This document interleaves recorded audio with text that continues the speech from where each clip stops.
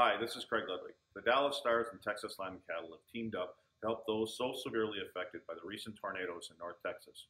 For the week of Friday, January 15th through Friday the 22nd, dine at any Texas Land and Cattle Metroplex location and we'll donate 15% of all net sales to local relief effort organizations. Help us help our neighbors who lost so much.